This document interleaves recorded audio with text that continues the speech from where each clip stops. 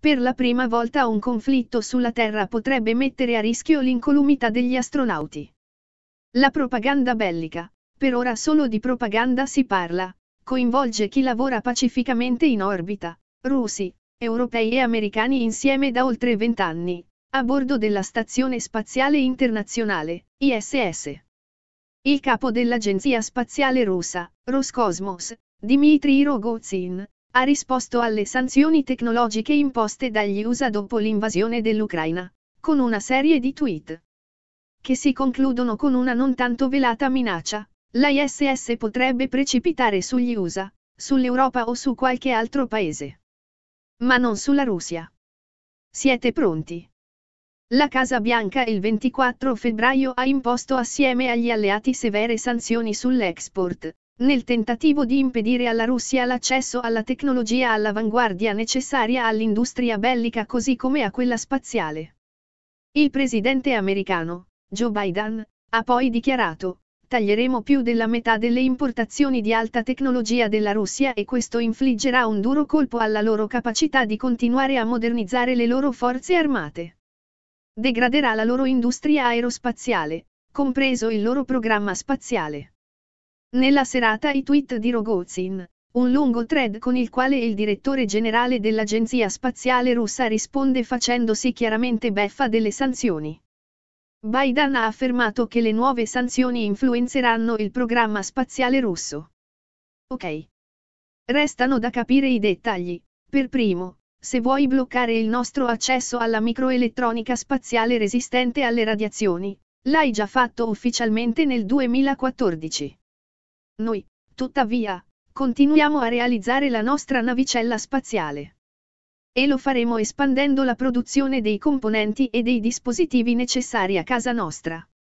Secondo, se vuoi vietare a tutti i paesi di lanciare la loro navicella spaziale sui razzi russi più affidabili al mondo, anche per questo siamo pronti. La ISS, se noi russi abbandoniamo la sua gestione potrebbe precipitare su USA o Europa, o anche su Cina o India, ma non sulla Russia perché la sua orbita non passa dalla Russia.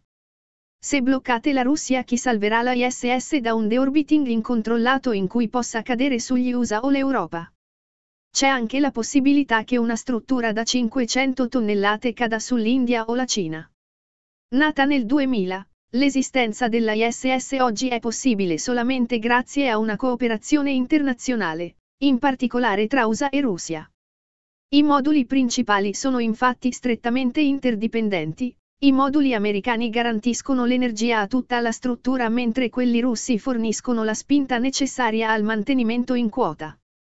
Per evitare che poi le sanzioni ti si ritorcano contro aggiunge Rogozin e non solo in senso figurato, vi suggerisco di smentire il malato di Alzheimer. È evidente il riferimento del dirigente russo a Joe Biden. Poi una cosa che non si era mai sentita. Non a questi livelli. Se vuoi distruggere la nostra cooperazione sulla ISS.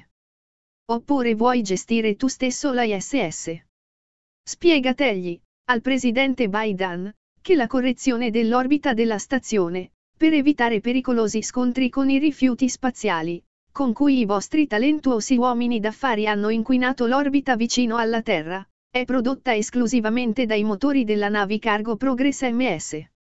Se bloccate la cooperazione con noi, chi salverà la ISS da un deorbiting controllato e dal cadere sugli Stati Uniti o sull'Europa? Ancora una volta, aggiungiamo da questo canale, scopriamo che l'Occidente parla a vanvera, se sarà per questioni mediatiche o per vera ignoranza spetterà ai posteri l'ardua sentenza. Da questo canale rileviamo anche che la ipotesi che il presidente degli USA Biden sia malato di Alzheimer, è dunque inesorabilmente confermata dalla intelligence russa. Il nuovo ordine mondiale ha trovato nella Russia di Putin un muro invalicabile, un muro di quelli che fanno male, molto male.